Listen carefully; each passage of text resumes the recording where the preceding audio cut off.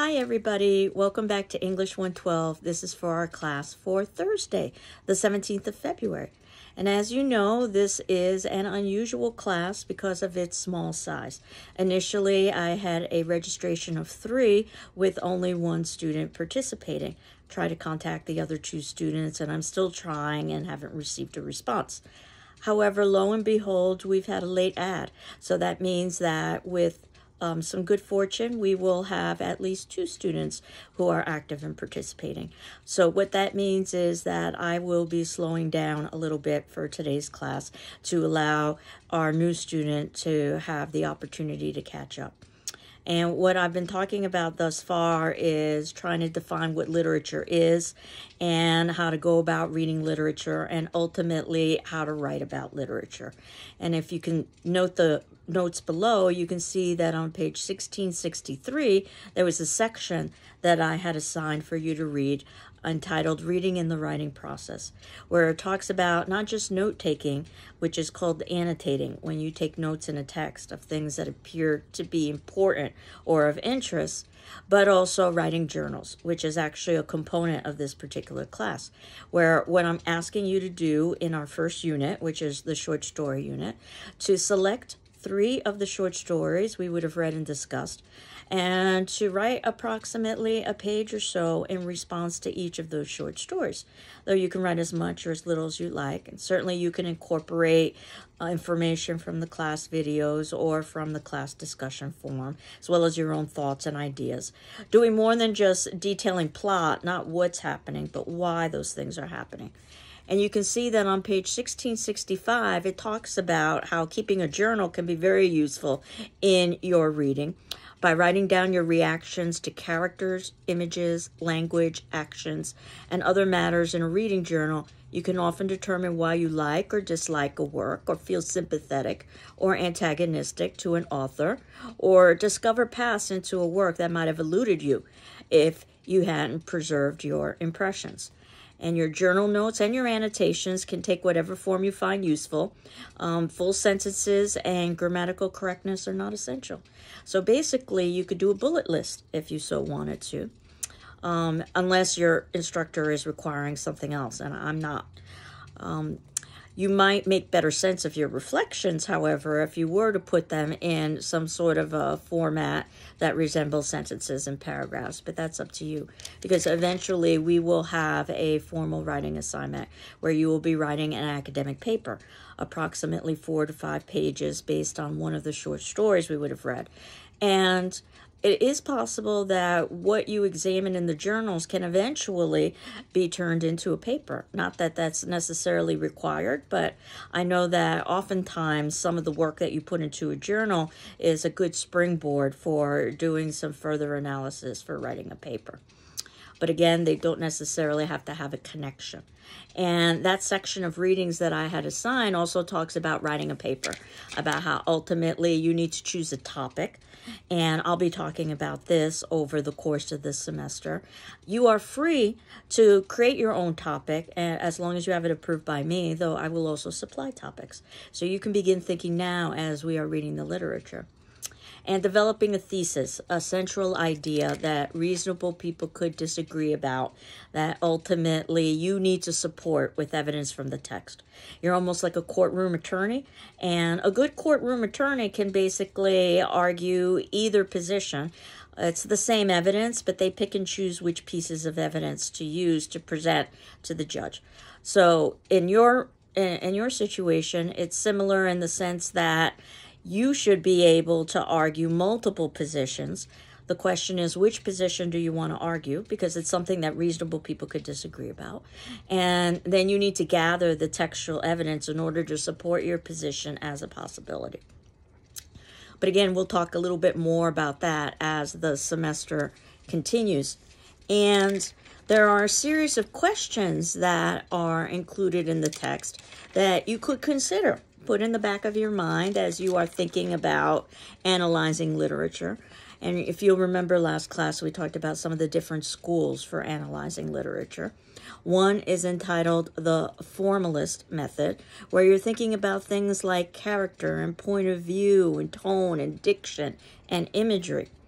So, point of view, who is telling the uh, the story, um, the tone, is it humorous or is it sad?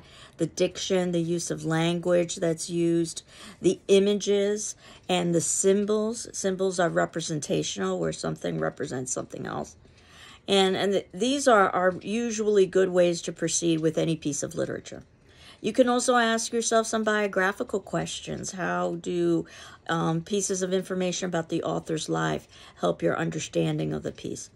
Or psychological questions. How does the author's psychology or the character's psychology or even your psychology as a reader influence the particular piece? Or historical questions. How does the time period in which the story was written and which it was set, and they, it need not necessarily be one and the same, though it usually is, how does that influence the story? Or Marxist questions. If you are studying economics, you're probably studying Marx. Just like if you are studying psychology, you're probably studying Freud. And there's a, a good amount of interdisciplinary areas in terms of the possibilities of studying literature. So you could declare yourself not just a psychological critic, but a Freudian. And that means you're using Freud's theories in order to analyze the text. Or if you are a Marxist, or a theorist, then you would be using Marx's economic theories about social inequality and economic inequality in order to be able to support your particular position in a particular text. Or what you can do outside of looking at socioeconomic issues is think about new historicist questions. This wouldn't necessarily be talking about the historical period, but this would be talking about the cultural and the social values of the time. Or perhaps you could ask yourself gender studies questions where you are focusing on something like a particular gender portrayal in a text. You declared yourself a feminist critic, then you would be focusing specifically on the portrayal of female. If you are asking yourself mythological questions, and you are probably asking yourself, are there kind of archetypes or universal symbols or ideas that are used, like like quests or initiations or scapegoats?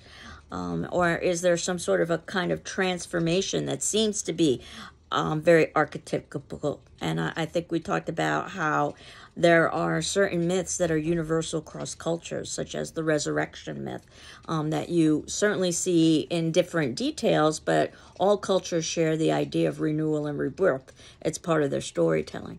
Or reader response questions, um, the idea of how do we as readers, as a group, respond to a particular text. And again, we need to have textual evidence in order to be able to support that.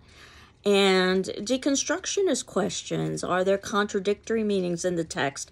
And what does that do to eliminate or increase meaning within the particular text? And then it even talks about how to organize a paper. So keep these pages in mind when you're actually writing a paper. Um, that you need to find a topic that's a general idea.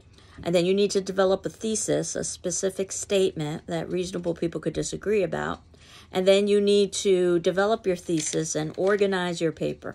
You need to have things like an introduction and a conclusion where you introduce your your subject including the title and the author and your thesis. And you need to have a conclusion which is a closing paragraph that sort of ties up loose ends. and gives a sense of closure. And then you would have body paragraphs that also include things such as quotations. So that would be part of your evidence. And there are ways to go about documenting that, which we will discuss. And hopefully you begin your writing early so that you can revise and edit rather than trying to write everything at the last moment. And some of the questions that you're asked for revision is your topic manageable? Is the thesis clear?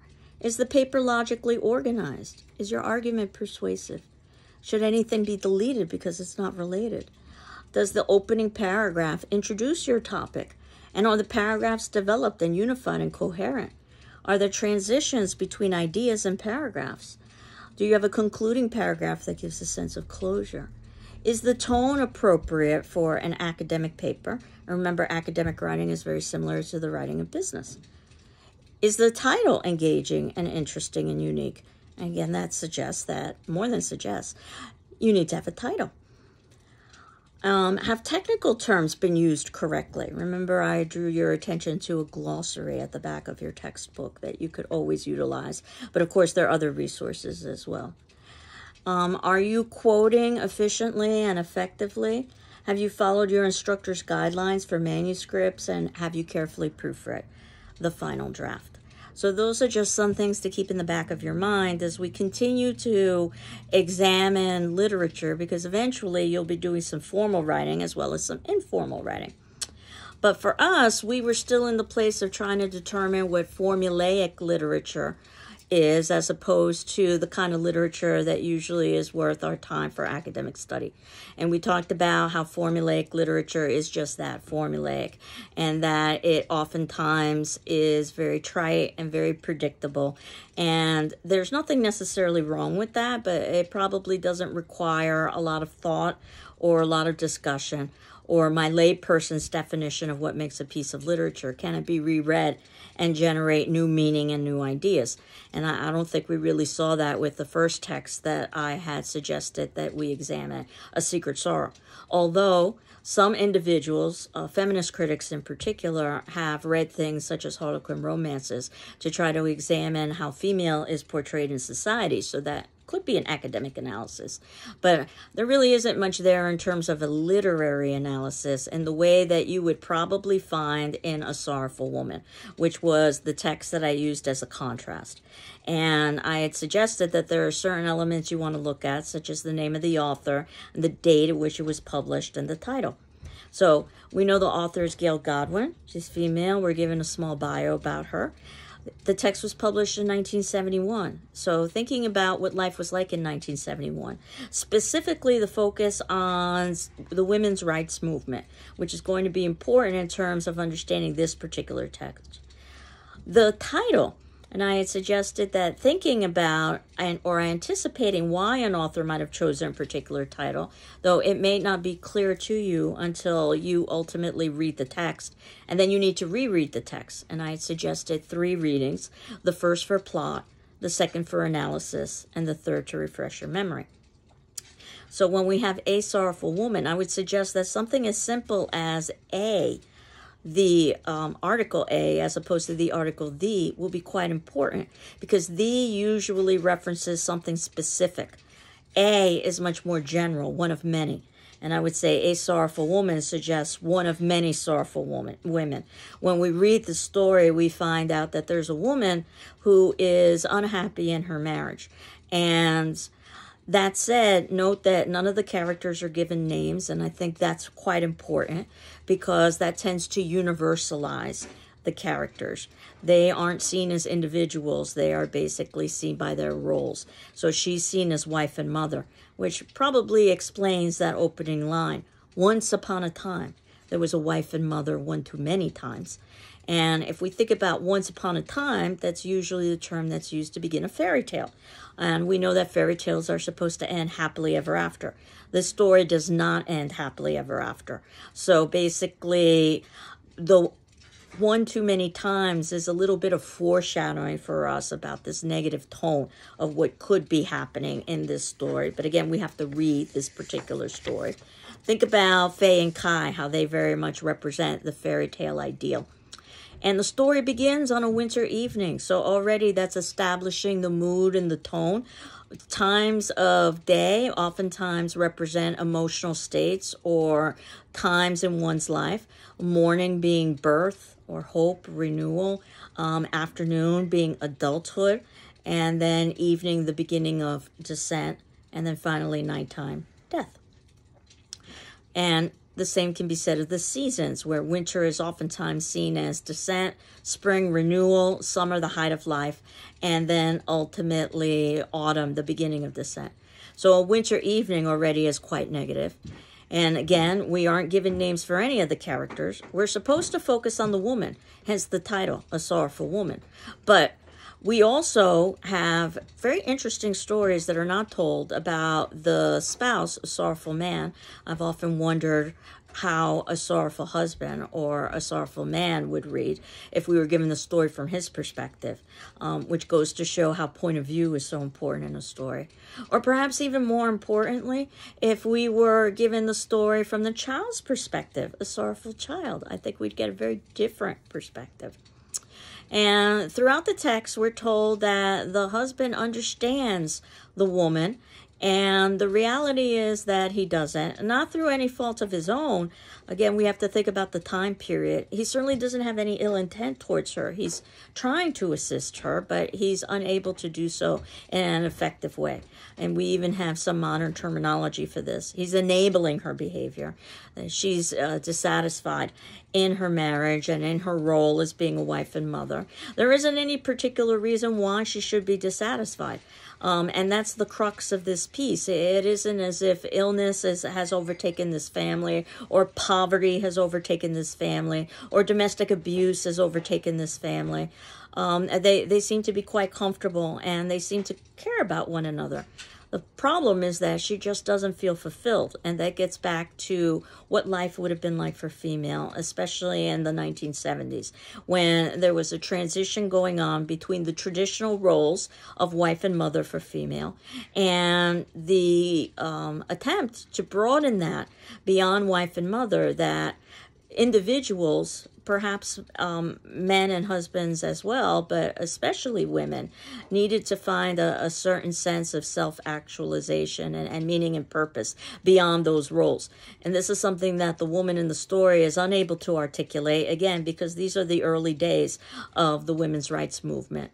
So, in some ways, we can't blame the husband because the wife can't even necessarily understand or articulate what's happening. Um, but we do know that when he says he understands her, he doesn't. And note that at the very beginning, we're introduced to some subtle clues again that help to set the tone, such as the child's eyes. The color happens to be gray. The husband's shirt also is gray. Gray is usually seen as a negative rather than a positive. We can also see gray as kind of an in between place, not black or white, which would be the extremes, but someplace in the middle. And again, you can say that the story can be read that way. We don't really have heroes or villains.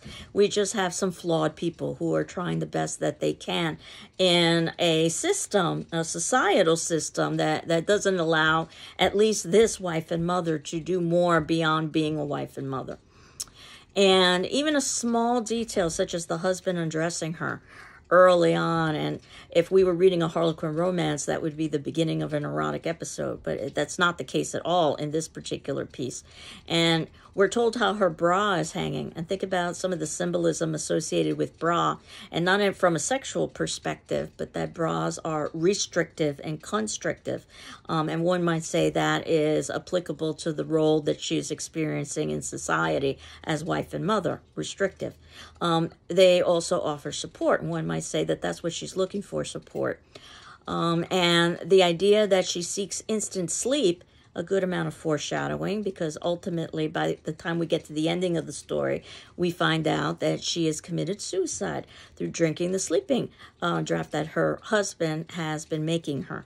And if this is a surprise to you, it's because this is subtly indicated. It's never directly stated, which goes to show that you have to read very, very carefully. We know that the husband has been making her some sleeping potion. We know that he has been increasing the dosage so that he's now making them a week at a time or a week's dosage at a time.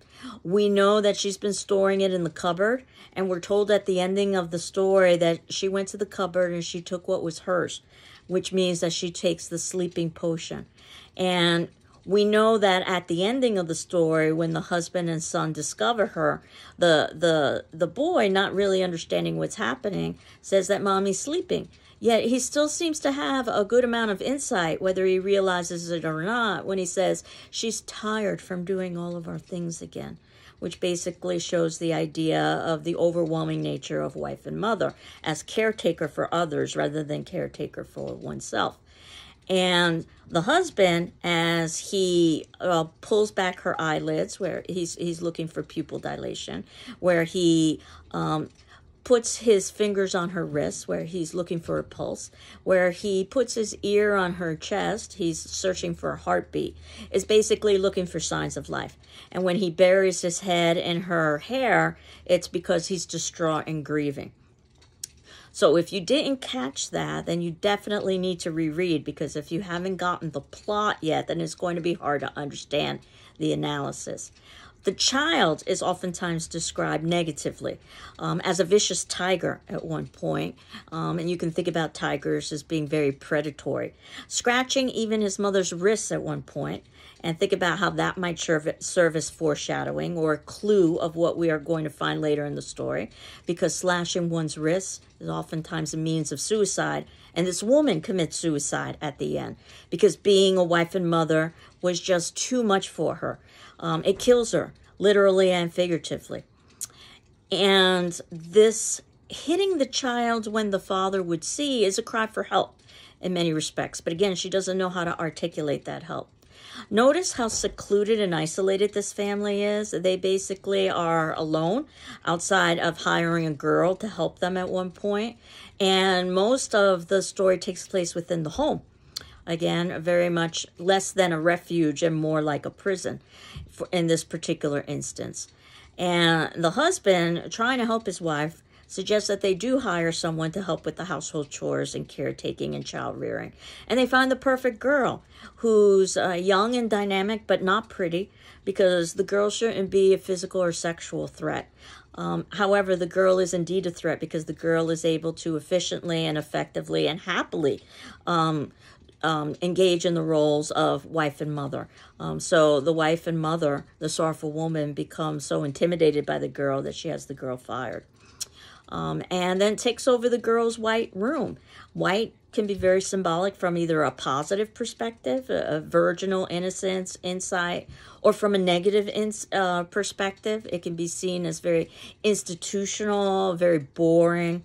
And I think both would be applicable for this particular story because the woman begins to achieve a certain le- level of insight and tries to engage in a certain level of rebirth, but unfortunately, she's unsuccessful. She spends her winter afternoons. Now, notice at this point, we're moving forward in time. We started in the winter evening, and by the middle of the story, we're in the winter afternoon, which would make us assume that perhaps there is going to be some sort of rebirth or renewal for the woman. She's wearing an old sweater she had worn in school. Basically, a time when she didn't have responsibilities for others, just responsibilities for herself. And as the woman takes over the White Room, she's engaging in a lot of activities that are related to self care. For instance, hairbrushing, focusing on herself rather than someone else. There also are connections with hairbrushing and fairy tales. Think of Rapunzel, if you will. She also spends time writing sonnets, so she's engaged in creative writing. And in fact, she spends a good amount of time contemplating does she have to write a sonnet which has very strict rules or can she write another kind of poem that doesn't have any rules? It doesn't even have to rhyme. And I, think that's a great metaphor for her life as well, is that her life is very much like a sonnet with strict rules of what it means to be a wife and a mother. And what she's doing as she isolates herself from her family, breaks away from the expectations of society, is contemplating the idea that she doesn't have to follow the rules. And of course, the isolation is stark, where she gets to the point where she will only accept notes underneath the door from her family, which might seem to be very unrealistic. Um, when we get to Emily Dickinson, though, we will talk about how this poet led a life that was, in some ways, somewhat similar. And I, I, can't help but think of modern day parallels where family members are texting one another, even though they're in the same home. Um, but nevertheless, eventually we move into spring, and that usually means renewal and rebirth. So, as readers, what the author is anticipating is that we are going to expect that there's going to be some sort of epiphany for this sorrowful woman, that she's going to achieve a renewal or a rebirth. Um, it may not necessarily be in the best interest of the family, which is how this tale is complicated, and we don't necessarily have to like or even support the sorrowful woman. We just need to identify with her position and what statement the author is trying to make to us as reader. Because certainly you can say that the sorrowful woman has responsibilities to her husband that she is ignoring. Or if nothing else, she has responsibilities to her son, which she ignores and completely abandons when she commits suicide. So we aren't supposed to be completely sympathetic towards her actions. But again, we aren't supposed to be completely critical either because no one has ill intent in this particular position. And she's just trying to find a way to have a sense of individuality and independence in a societal structure that does not allow that for female. Again, the world was very different in 1971. Um, it the idea of well, I'll just get a divorce and then educate myself and get a job, much less likely to happen during that time period. But it was because of that time period that we have the changes we have now. And I've always suspected that's one of the reasons why the author wrote this piece with such a negative ending. We're not supposed to embrace the ending. We're supposed to rail against it and say, no, we don't want this character to commit suicide. What what kind of world do we live in where this character feels this is the only option that's available? And the idea is that we as readers should do something about our societal expectations so that other women in this kind of position have other options. And I, I think that's indeed what we did. So I would say that literature oftentimes helps to instigate social change in our society. Nevertheless, the story ends in a, on a spring morning. And again, we're anticipating rebirth and renewal. The mother talks about how she's suffocated by joyful notes that are put underneath the door.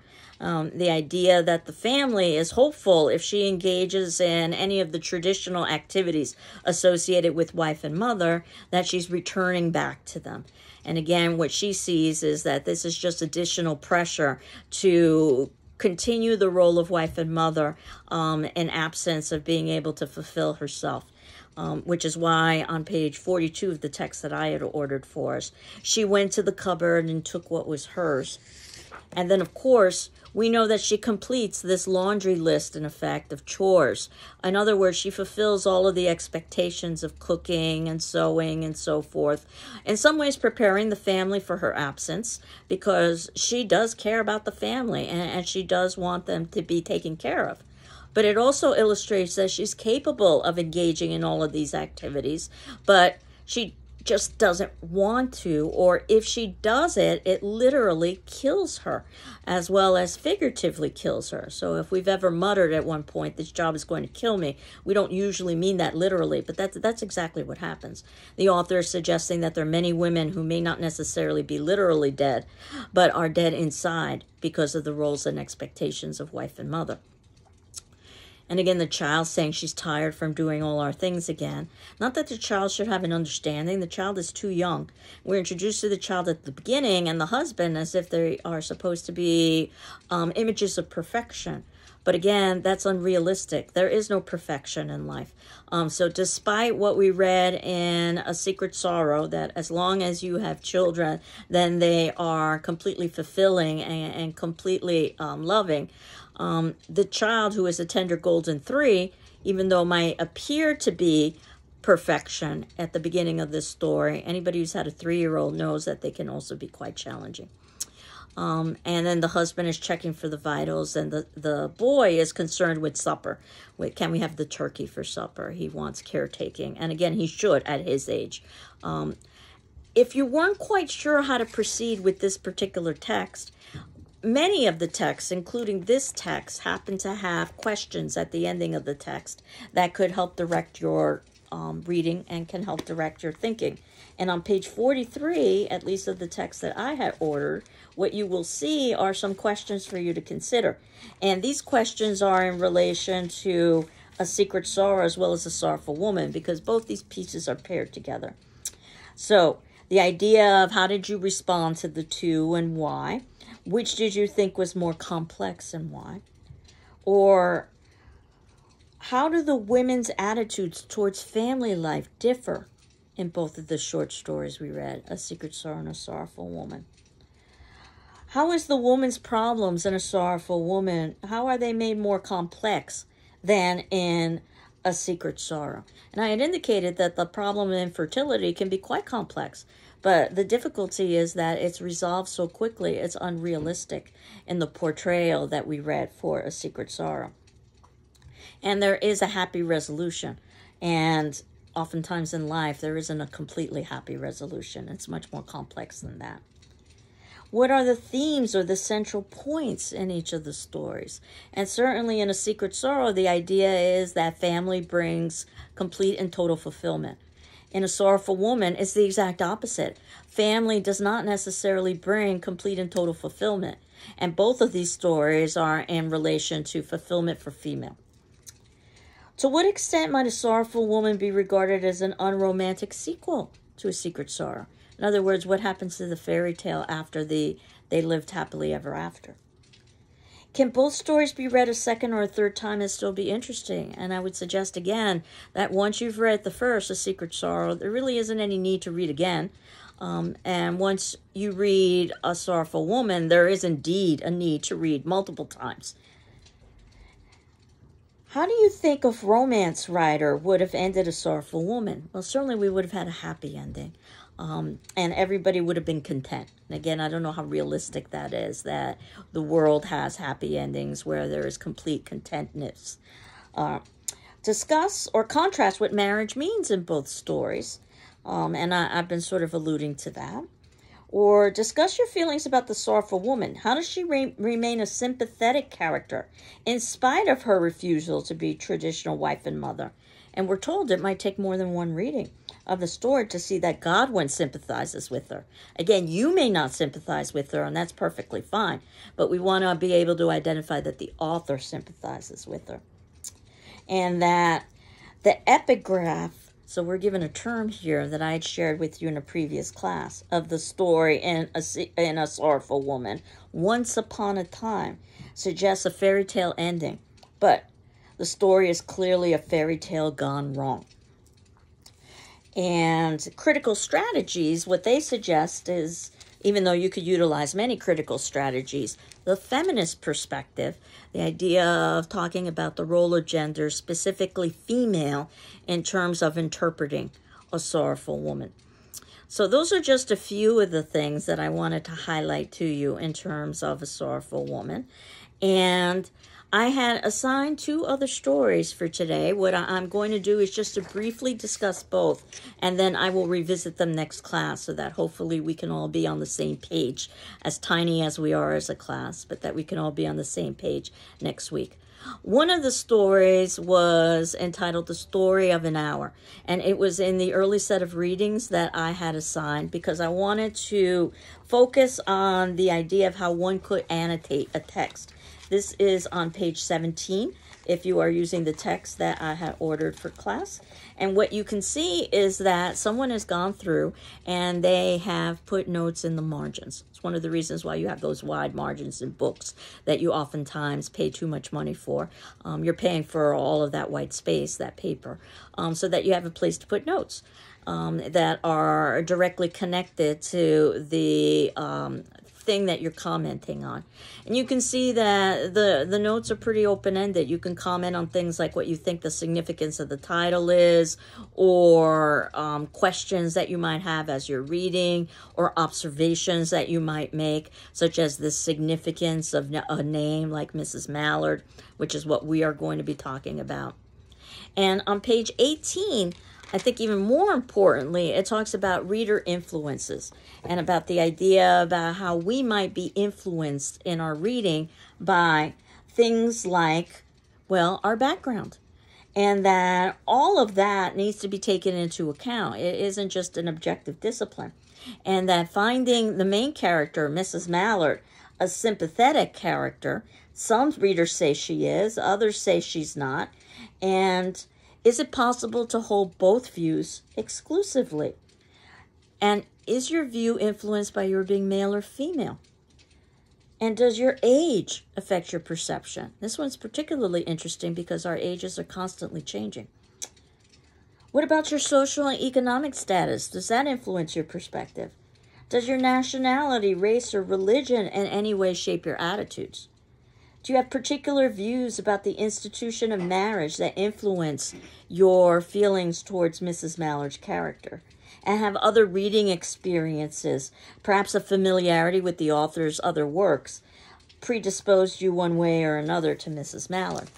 So I can tell you, for instance, that in The Story of an Hour by Kate Chopin, that I am familiar with another Kate Chopin work, well, several, but probably the most important and influential was a novella known as The Awakening. A novella being something longer than a short story, but shorter than a novel. And that work, as well as most of Kate Chopin's works, happen to be about female and unfulfilled relationship. This particular work, The Awakening, was a woman's awakening, not just in terms of her her psychological and, and intellectual status, but also her physical status. This is a sexual awakening. And it was considered to be so scandalous at the time, this would be in the 1800s, that it really led to the ending of Kate Chopin's career. She was blacklisted after that. It's a story of a woman who is married with children. She ends up leaving her husband and children to set up a residence of her own and then takes up an extramarital affair. Feels guilty not because she is cheating on her husband, but because there is yet somebody else that she would like to have an affair with. And then ultimately it ends with her committing suicide.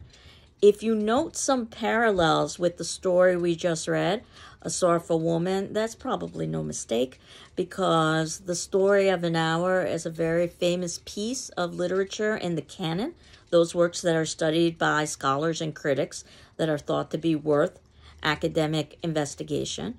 So I wouldn't at all be surprised that Gail Godwin, who has a PhD in English, would be well familiar with the story, The Story of an Hour, written in the 1800s, and that A Sorrowful Woman is her update of that story um, based on the way things have changed and have not changed up until the point where she wrote her story in 1971. But it always strikes me that even though story of an hour is written in 1894, how many similarities exist, um, even though many things have changed. So, thinking about things such as I've suggested the date, the author, the title, um, things like names, uh, plot, tone, theme, will serve you well for that story, as well as for the other story that I had assigned for today, Rose for Emily.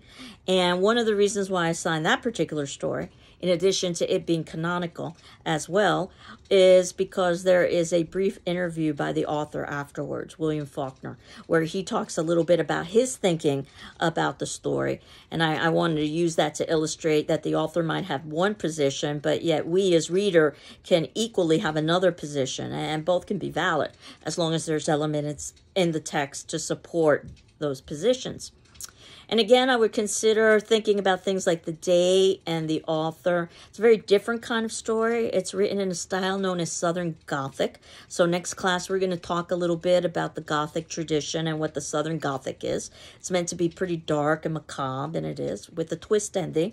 We'll talk a little bit about what the twist ending is in Rose for Emily and why it may not be um, so obvious what the twist ending will be, what techniques Faulkner used to try to hide that twist ending from us so that we could be surprised. And you can see that in the notes below. I've included what I will be talking about next class. It's what I had hoped to talk about this class. But as I said, I, I wanted to slow down a little bit so that at the very least, if it does turn out that we have a class of just two students, that you're all in the same place. And one of the things we'll also talk about with the Rose for Emily is how it can be viewed from a symbolic perspective, that it's not just representing one person's story, but it's also an examination of a societal conflict that exists. So I think what I'm going to do is end it here. And for today's attendance question, I'm going to ask the same attendance question I normally would have, even though I didn't really talk much about uh, Story of an Hour and Rose for Emily, though I'm expecting, I'm expecting that you have read it. Um, the attendance question is which one did you prefer, The Story of an Hour or Rose for Emily, and why? So again, there's no right or wrong answer. I'm more interested in your thinking than I am in the answer. Of course, your answer is going to depend on your having read both of the stories. You should keep up with the course outline that I have structured for this class, even though I'm slowing down a little bit because eventually we will catch up. You're not required to respond to your classmates in the class discussion forum section, but I encourage you to do so, especially because we're such a small class. But you can think of it almost like class discussion. If we were meeting live, that you could make the uh, decision to either participate or not participate in class. But I will be responding to all of your uh, responses. And I know that our late add needs to catch up with the with the discussion forum. So please go back and, and reread those responses next week.